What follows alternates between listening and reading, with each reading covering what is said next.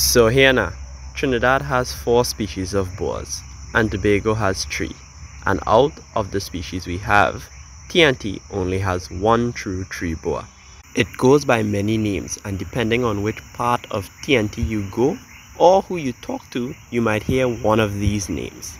Trinidad tree boa, Cascabel dormilion, Cascabel, black-tailed tree boa, Cook's tree boa, Ruschenberger's tree boa, tree boa, neotropical tree boa, common tree boa, tree boa constrictor, Ruschenberger's gratin boa, Cook's boa, yellow tree boa, yellow marble tree boa, castabel, cascabelli, dormilion, horsewhip, mapanari, mangrove tree boa, mangrove cascabel, mangrove dormilion, mango snake, mangrove snake, sleeping rattlesnake, false manapari, or mango mapapi. Corallus ruschenbergerii. Now despite some of those names, they are non-venomous and don't have a rattle.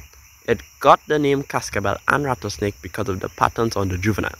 Some travelers and explorers found it looked similar and mistook it for the rattlesnake that is found in South America. Just as stated before, they are arboreal snakes, meaning they spend most of their time up in the trees and seldom coming down to the ground. You can find them in forests and swamps, but they have been seen in suburbs. Some people think and have told me that tree boas have fangs, but in fact that's just their teeth, not fangs.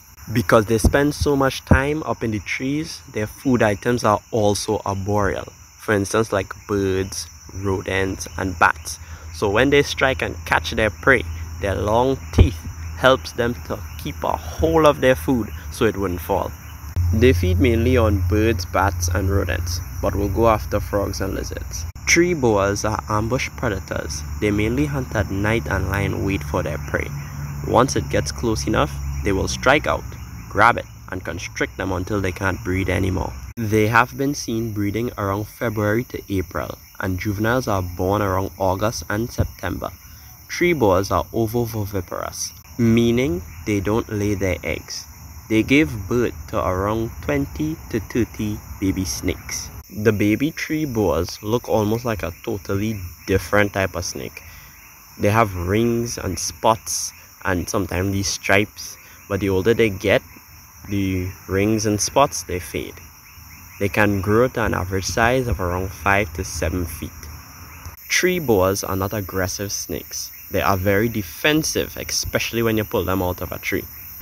So, as you all know, I am the Wildlife Master. Like, share, comment, subscribe if you haven't already, and until next time, blessings and bless out.